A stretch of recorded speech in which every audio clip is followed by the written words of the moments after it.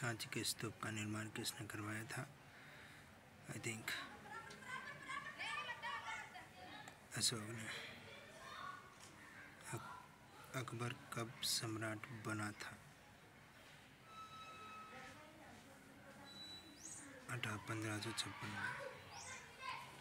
फूल में गर्भ केसर है। इसका क्या होगा? उभयलिंग, नर प्रजनन लिंग मादा प्रजनन, एक लिंग। आई think मादा प्रजनन लिंग अंग भारत ने पहली बार ओलंपिक खेलों में कब भाग लिया